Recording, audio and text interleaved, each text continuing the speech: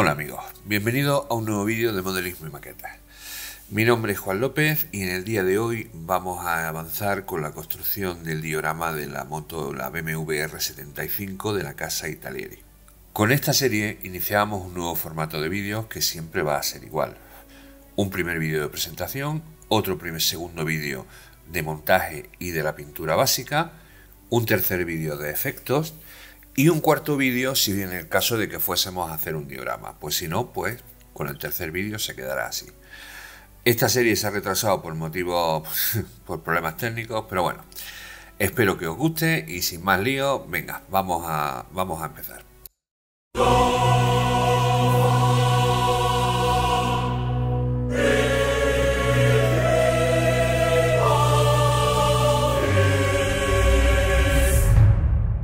Como siempre, antes de comenzar cualquier trabajo, debemos hacernos una idea general de lo que vamos a hacer. Sobre todo si llevan historias de pintura y llevan, en fin, un montón de piezas pequeñas, pues como por ejemplo puede ser este caso. Lo cual, a la hora de pintar, pues nos va a facilitar muchísimo la vida. Cuando trabajemos con un material más grande, o con, por ejemplo, con un carro de combate o un antiaéreo o algo así, podremos realizarlo de otra manera. Así pues, Ahora, antes de empezar, vamos a ir haciéndonos una idea de las piezas, del montaje y de los colores que van a tener y de sobre todo pues si va a haber piezas que van a estar más ocultas, menos ocultas y voy a tener que ir pintándolas antes de montar por ejemplo la moto entera. Así que como digo, a la hora de acercarnos al libro de instrucciones o a las instrucciones que traiga el, el elemento en sí, pues ya no solo nos vamos a fijar en su posición, en con quién lo tengo que pegar o si tengo que montarlo antes o después, sino que también nos vamos a ir fijando en los colores que van a tener. Así pues, hecha esta salvedad, vamos a comenzar con el montaje del sidecar. Comenzamos extrayendo las dos ruedas del sidecar.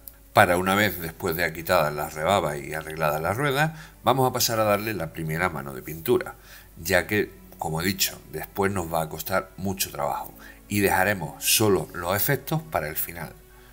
¿De acuerdo? Así que con un negro mate de tamilla, un XF11, eh, uy, XF1, ¿vale? Y el verde alemán, que es el, X, el XF63, pues vamos a hacer la rueda. Comenzamos con los radios, en los que les vamos a dar el gris alemán, antes he dicho verde, perdonadme, es gris alemán, para acabar pintando el, el neumático con negro mate, ¿vale? Eh, esto que veis ahí es que cuando, por ejemplo, cuando uso un color sólido y no tengo que hacer mezclas ni tengo que hacer nada, pues en vez de usar la paleta que luego hay que pintar, hay que limpiarla y hay que liar pues la de Dios para limpiarla, pues uso tapones de, pues, de botellas de agua, de Coca-Cola, de lo que sea. Me da igual el color, puesto que el color que voy a usar no es un color puro, o sea, es el color del bote. Pero esto me hace que cuando acabe, pues agarro el tapón, lo tiro y ya está. Y así simplificó bastante el sistema de el, tiempo que tardo en limpiar el material, que es importante. ¿eh? Tener una limpieza correcta del material nos va a hacer que nos va a durar mucho más tiempo y los acabados van a ser mejores. Bueno, pues dicho esto, pintamos los neumáticos de negro y seguimos. Una vez con los neumáticos listos, pasamos a la construcción de la carlinga del, del car ¿Vale? Eh, esta pieza, no sé si es concreto esta o porque me ha tocado a mí o porque son así, los acabados dejan bastante que desear. Aunque el detalle de los plásticos y el detalle de, es bastante bueno, eh, los acabados de, de las piezas, pues mirad, ahí por ejemplo hay que repasarlo y, prácticamente todas las piezas hay que darles una vuelta bastante gorda para quitarle rebabas y quitarle de los bebederos y de sobresalientes, sobre, no sé cómo explicarlo, trozos de plástico que sobresalen y que no deberían estar ahí. Con lo cual, pues coger un cúter y poco a poco y con mucha paciencia, pues los vamos quitando. ¿Vale? En esta, en esta parte de la, de la carlinga del sidecar, pues no solo habrá que hacer eso, sino que una vez que lo tengamos pegado, habrá que enmasillarlo, ¿vale? Pero bueno, ahora lo veremos más adelante. Vamos pegando las dos partes que forman la carlinga, como digo, del sidecar. Extraemos el asiento de la, de la placa, ¿vale? Y ese asiento pues habrá que repasarlo. Pues como ya os digo, como prácticamente todas las piezas de esta moto. Yo no sé si ya os digo si es que me ha tocado a mí el kit malo o lo que sea. Pero como veis, mirad los filos que tiene la pieza Ahí, parece que se ve. Espérate un momentillo para que lo veáis. ¿Veis los filos y las rebabas que os decía antes? Esto no me parece aceptable. ¿De acuerdo? Ponérmelo en los comentarios si vosotros habéis tenido algún otro, otro kit de Italeri, eh, a ver si esto pasa siempre o, o, es que me ha tocado a mí, he tenido esta mala suerte. ¿Vale? Es una cosa que tenemos que tener en cuenta a la hora de comprar un kit que más vale la pena. No es un kit caro, ¿eh? estamos hablando de un kit que ha costado 14 o 15 euros. Pero bueno, igual si le echamos 3 o 4 euros más, pues nos ahorramos todo este trabajo. Que como veis, que no es difícil, pero que es un poco tostón tener que ir con el cúter repasando las piececitas, quitándole las rebabas y en fin, que ya os digo, ponérmelo en los comentarios si habéis hecho más kit de esta, de, esta casa y os ha venido igual o, simplemente, como digo, pues me ha tocado a mí. Colocamos el asiento en su sitio, una vez que ya lo tenemos limpio, comprobamos que, encaja perfectamente, ¿vale? No encaja mal. Y una vez que lo tenemos en su sitio, pues procedemos a pegarlo. Yo para temas de pegamentos, ¿vale? Si queréis ponerme también en los comentarios si queréis que os haga un vídeo sobre pegamentos, cuando la superficie de contacto es muy grande, ¿vale? Y no tengo que tener cuidado con, pues con que sobresalga o lo que sea, uso el de Rebel, ¿vale? Que pega muy bien eh, y no hay problema en ese aspecto. Cuando la cosa es más delicada y más fina, uso el extracín de tamilla, ese que veis ahí con el botecito verde, con su pincelito para cosas de precisión es muy muy bueno. Y una vez ya con eh, la carlinga del sidecar ya hecha, pasamos a incorporarle pues el chasis, ¿vale? Recortamos la pieza, como siempre nos toca repasarla, y el chasis además hay que añadirle las dos ballestas de los amortiguadores, que las tenéis ahí. Pues ya está, pues se cortan y además son ballestas funcionales, con lo cual tendremos que pegarlas por un lado. Y en fin, antes de meternos en más líos, ¿vale? Eh, pues hay que repasar el, la carlinga. Como veis, eh, tiene muchísimos fallos, muchísimos fallos. Ahí se ven las marcas de las dos piezas eh, y eso está muy feo y eso hay que arreglarlo. Para lo cual, pues no nos queda más remedio que echar mano de la masilla, ¿vale? La masilla, que en este caso es de tamilla, ¿vale? La masilla puti está buenísima, buenísima y muy, muy fácil de usar. Por ponerle alguna pega, pues que, que es muy líquida y hay que tener cuidado cuando la abres, pues que se derrama. Pero aparte de eso, funciona cojonuda. Con un palillo de dientes, pues vamos aplicando masilla pues donde tenemos que, donde tenemos que hacerlo, ya que con una espátula pues sería demasiado pequeño. Vamos rellenando los huecos y vamos igualando. Vamos igualando tipo espátula. Repetimos la misma operación por la parte de atrás, ¿vale? Teniendo en cuenta que ahí de encima va una rueda, o sea que tampoco es necesario que se nos vaya demasiado la olla, ¿vale? Así que eso va a ir tapado con lo cual con solo la parte trasera tendremos bastante. Y este es el aspecto una vez que tenemos la pieza enmasillada, ¿vale? Y a la espera de que se seque. Eh, cuanto menos masilla pongáis, menos tendréis que retirar con el con la lija o con el cúter o con lo que sea. Pero bueno, es un poco más difícil. Es más fácil retirarla con la lija que ser fino intentando poner solo exclusivamente la necesaria. Así que ahora con un papel de lija limpiamos el filo de la masilla, de, ¿vale? Porque si el tapón se mancha, luego nos va a costar muchísimo trabajo quitarlo. Así que bien limpito la rosca y cuando volvamos a usarla, pues no habrá ningún problema. Con un papel de lija de 240, ¿vale? De los de lijar las paredes, cortamos un trocito, que es el que nos va a servir con unas tijeras, es una lija muy fina, y cortamos un trozo para, ver Ah, no, mira, es de 320. Yo creía que era de 420 pues de 320, ¿vale? El de 420 yo lo uso más, pero es bastante más difícil de conseguir. Bueno, pues este hay que darle un poquitín menos. Ahí veis, voy repasando, repasando, repasando, es quitando los excesos de, de masilla, intentando seguir la línea del chasis. ¿De acuerdo? Esto nos va a igualar los bordes que, las rebabas que hay en los bordes y nos va a dejar eh, una moto chula, chula, chula. Como si fuésemos carroceros de, un taller de chapa y pintura.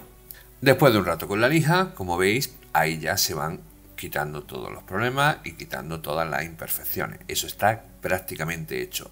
Lo de abajo, pues tampoco hay que, como digo siempre, tampoco se nos tiene que ir la cabeza porque eso no se ve, porque está abajo, ¿eh? ¿vale? Tenemos que tener cuidado con las cosas, sobre todo con las cosas que se ven. Aunque bueno, siempre habrá alguno que dirá que eso es de ser bastante marranote. ¿De acuerdo? Yo, yo qué sé, yo lo hago así, ¿vale?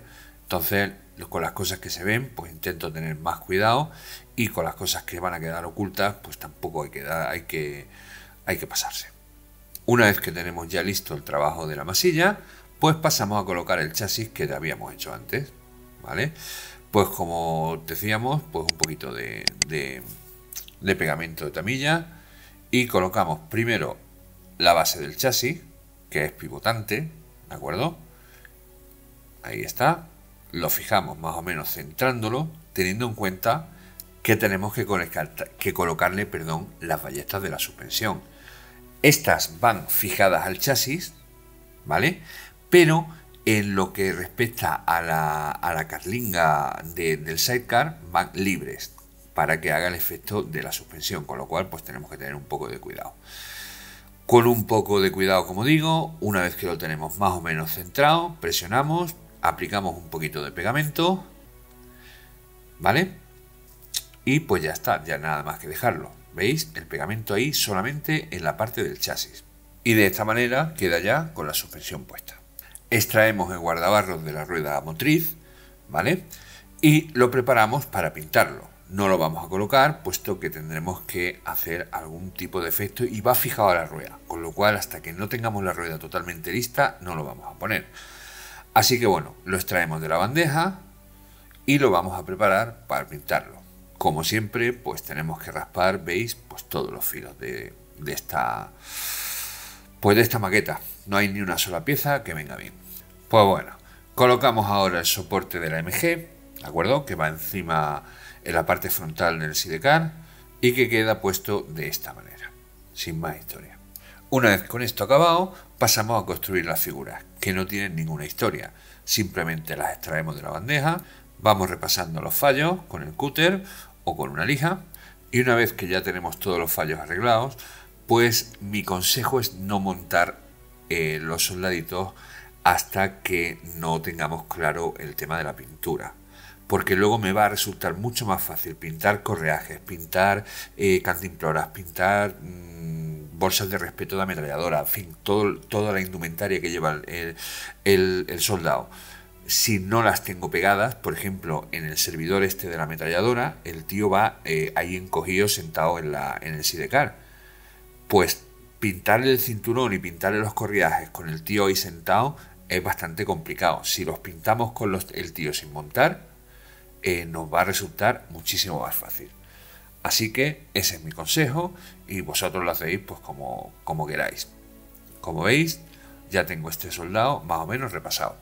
Una vez que tengo ya los soldados más o menos listos, vamos montando los pertrechos que llevan la moto en lo alto del sidecar. Pues como por ejemplo pues esa bolsa que parece un saco de dormir o en fin o lo que sea. Una serie de cantimploras y de cartuchos, o sea, de, de esto de prismáticos, en fin pues los vamos cogiendo, los vamos preparando y los vamos pintando, preparándolos ya para pasar a dar la primera mano de pintura. Pasamos ahora a montar la moto en sí, ¿vale? Y esa es la primera pieza. La pieza que lleva la rueda trasera y unida a una parte del motor. El motor son tres piezas que solo vamos a tener que separarlas, arreglarle los posibles fallos y montarlas entre sí para montar, eh, valga, valga la repetición la redundancia, el bloque del motor. ¿De acuerdo? Y de esta, de esta manera tendríamos la rueda trasera y el bloque del motor completo. Ahí podéis ver un plano detalle pues de cómo quedaría ya esa primera parte que es la estructura básica de la moto. Extraemos ahora la rueda delantera y la vamos preparando para pintarla. ¿De acuerdo? Pues como siempre, sin más. Ahora, una vez que ya tenemos la estructura básica de la moto, recordamos el bloque de motor, la rueda trasera, la rueda delantera eh, de la motocicleta en sí, además del sidecar y los soldaditos que vamos a tener que pintar, es hora de pasar a pintarla. Para lo cual yo, a modo de imprimación y para después poder conseguir distintos efectos de volumen, voy a pintarla con, eh, con este color, con un amarillo, ¿cómo se llama el amarillo este? Amarillo verdoso de Vallejo, que es el número 71025, que aparte de ser un color cojonudo para hacer los camuflajes del desierto, eh, me resulta bastante útil a la hora de dar una especie de imprimación, aunque bueno, no es una imprimación como tal, pero luego me va a conseguir efectos de volumen al dar tonos más oscuros de, del gris panzer alemán, alternándolo con zonas donde se va a quedar más presente este color de fondo. Eso va a hacer un contraste claro-oscuro que, como digo, nos va a dar volúmenes y, luz en, en, la maqueta. Por cierto, el aerógrafo que uso es el, es el Harder, el Ultra 2 in One, ¿vale?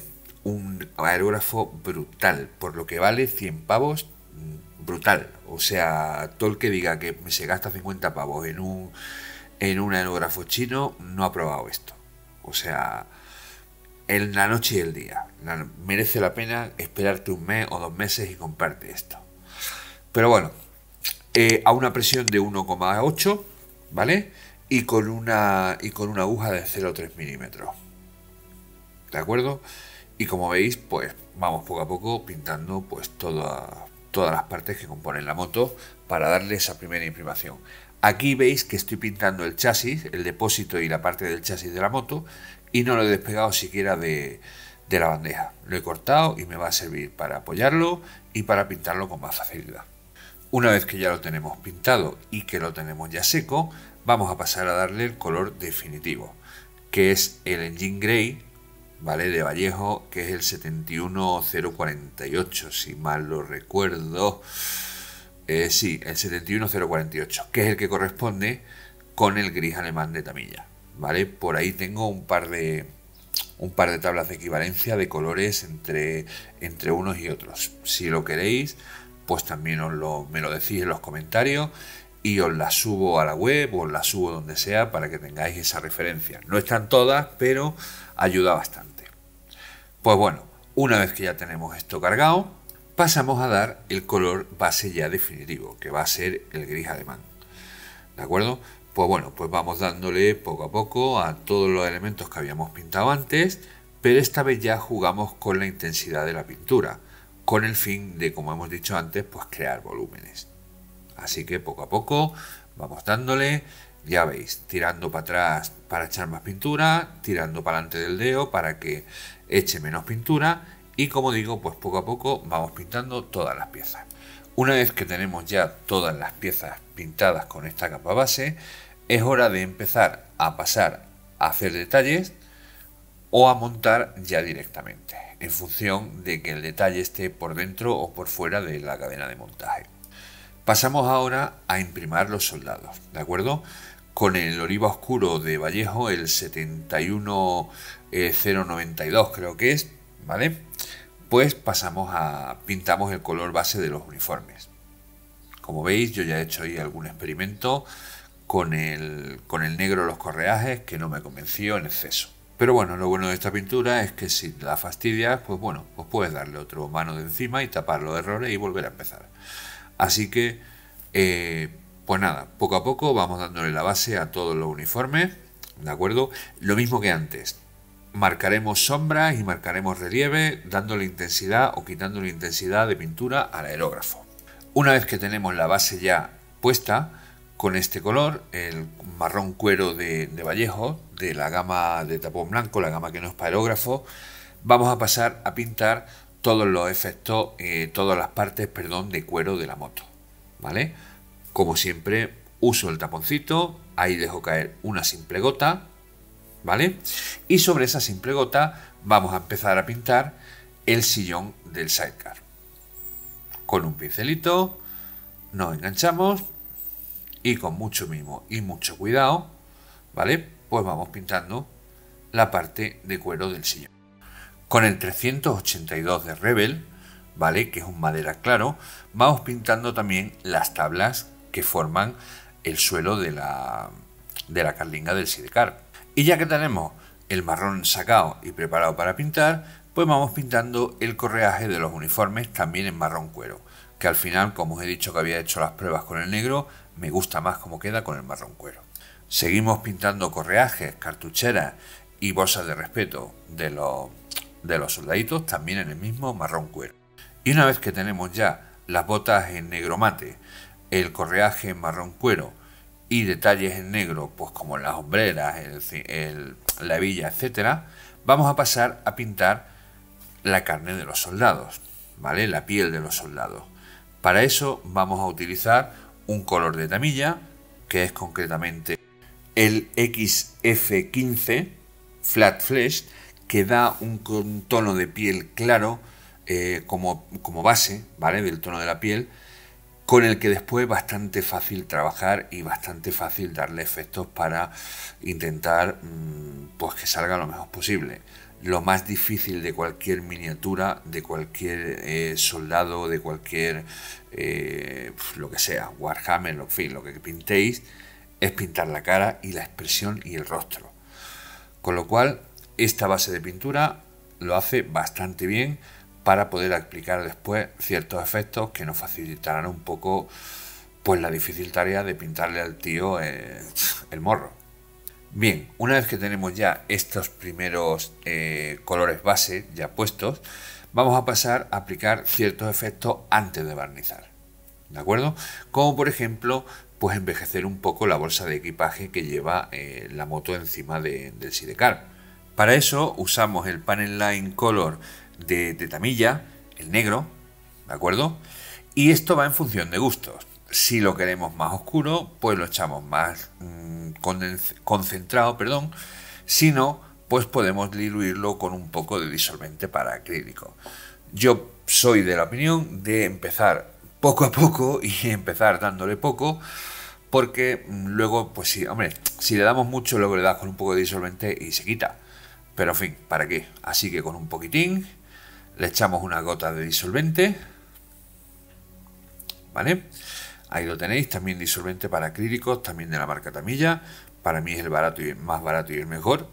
Pues unas gotillas y con un pincelito vamos aplicando por capilaridad, o sea, mm, manchurreteando, vaya, para hablarnos, para hablarnos en serio, ¿vale? Lo disolvemos un poco, ahí lo podéis ver cómo se repele y veis, vamos dándole un poquitín y va marcando relieve, va cogiendo suciedad y va dándole un aspecto bastante interesante antes de ponernos a barnizarlo.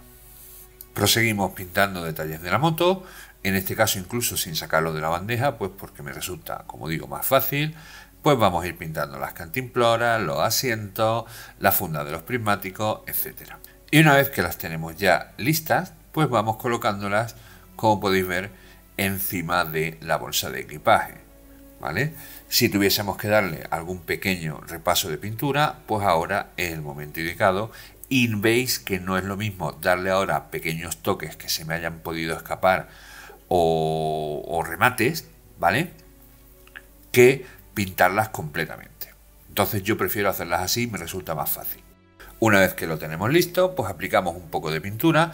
El problema de hacer las cosas así es que la pintura actúa de, perdón, el pegamento actúa como disolvente de la pintura y pega bastante peor, ¿vale? Entonces tenemos que tener más cuidado con el pegamento, con la pintura y con dónde lo ponemos. Pero yo creo que los beneficios superan a este pequeño inconveniente.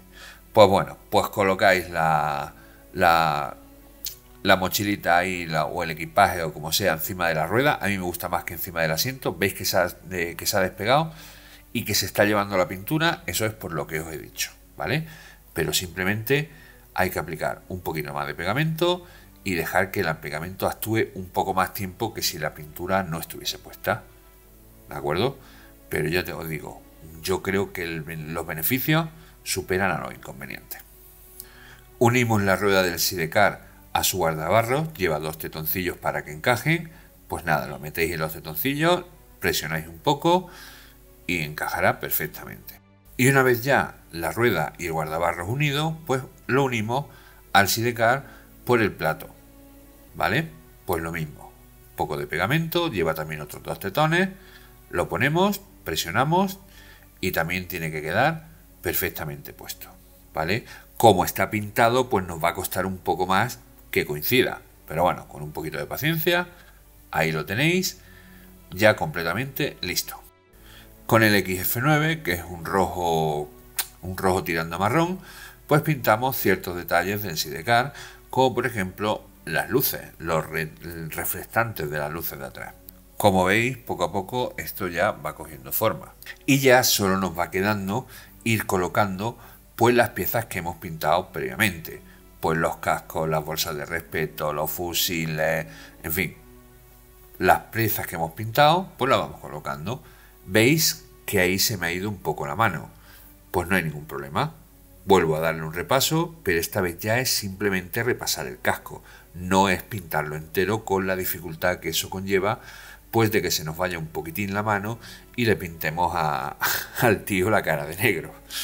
Así que, poco a poco, como os digo, montamos el resto de las piezas que nos faltan. Y en la moto, sobre el chasis que ya teníamos, pues le vamos colocando el resto de las que nos faltaban. Como por ejemplo el cardán de la moto que lo acabo de colocar y sobre, mm, sobre el cual ahora pues le doy un toquecillo de pintura pues para corregir algún pequeño problema que haya podido tener o al colocarlo o al pintarlo al principio. Repasamos las partes metálicas de la moto, como los amortiguadores del sillín, la palanca de arranque, etc. Y colocamos las piezas que nos faltan, como en este caso el depósito, el chasis, la rueda delantera, la horquilla delantera, etc. Aprovechando en todo momento, pues que tenemos la moto medio desmontada, para ir dándole pequeños repasos de pintura, pues como veis ahí tengo los tres tonos que estoy usando, el marrón, el gris panzer y el negro mate y el bote brillante del aluminio. ¿Vale? Pues según me hace falta uno u otro, pues le voy dando y voy repasando, voy colocando y repasando la pintura. Con los soldados sigo el mismo procedimiento, ya los tengo pintados, pues ahora es hora de montarlos, puesto que ya no me van a molestar ni los brazos, ni las piernas, ni la inclinación, para pintar con precisión donde quiero hacerlo. Pues los voy montando y listo. Y corrigiendo, pues si hubiese algún fallito de pintura o lo que sea, pues ir corrigiéndolo ahora. Ahí podéis ver cómo quedan, por ejemplo, ese ya con la bolsa ya puesta. Una vez que tenemos ya los soldados y la moto pintada, vamos a aplicar una primera capa de este barniz que es el X35, que es un semi, un semi, joder, un semigloss, ¿vale? Un semibrillo y que nos va a proteger el trabajo que llevamos hecho hasta ahora. Tened en cuenta que cuanto más disolvente le echemos, menos brillo va a tener. Cuanto más puro lo echemos, más eh, brillante va a ser. Pues teniendo esto más o menos en cuenta, pues le echáis lo que os parezca. Yo le echo un poquitín de, de, barniz y luego un poquitín de disolvente. En el mismo cacillo, ahí veis, pues le añado otra gotita de disolvente, pues porque no necesito que tenga brillo en exceso. Y con esta disolución ya hecha, pues pasamos a barnizar las piezas que ya tenemos montadas. Tanto el sidecar, como la moto, como los soldaditos. Una vez que tenemos los soldados secos, vamos a aplicar el primer efecto de envejecimiento. Con un tono negro humo y un tono, eh, un óleo tierra barro, ¿vale? Tierra así como barro. De estos dos, eh, de estos dos colores aplicamos unas pequeñas gotas. Lo diluimos con disolvente para óleos, ¿vale? Echamos en un pocillo el disolvente para diluirlo y luego en otro lado un poco de disolvente limpio. Es interesante este disolvente para óleo. Eh, hay gente que usa aguarrás, ¿vale?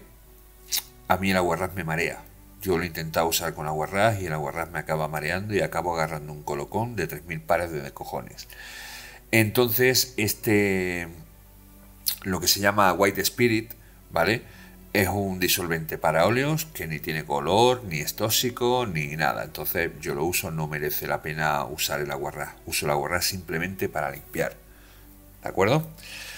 Bueno, pues como veis, usando los distintos pocillos, voy buscando el tono de negro, eh, negro, eh, ¿cómo diría? Negro marrón o negro enmarronado o algo así, porque esto va a ser un diorama con barro.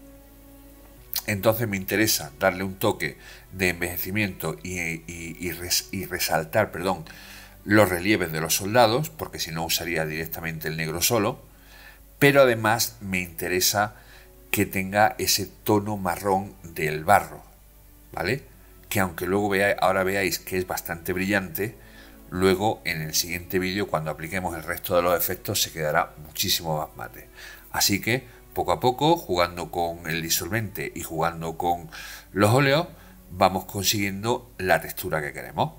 Y una vez que la tenemos, pues le vamos dando al soldaete, pues por todo, ¿vale? Por la cara, pues por el uniforme, el gorro, las manos, y esto va consiguiendo, pues que se marquen los relieves, que se marquen sombras, que se marquen, eh, pues todo. Y el color de la piel, el color ese tan claro que tiene la piel, pues realmente, pues, que es un color que no es real, pues con esto queda un tono bastante conseguido.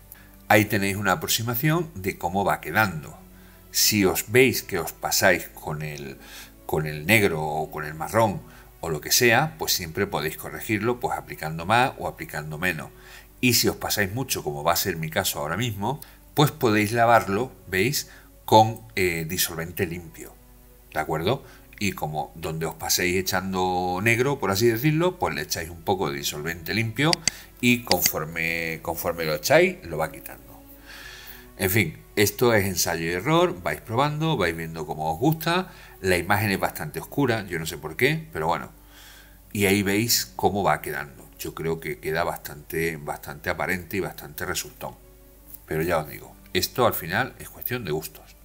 Y bueno amigos, como veis, así quedaría el trabajo hasta ahora.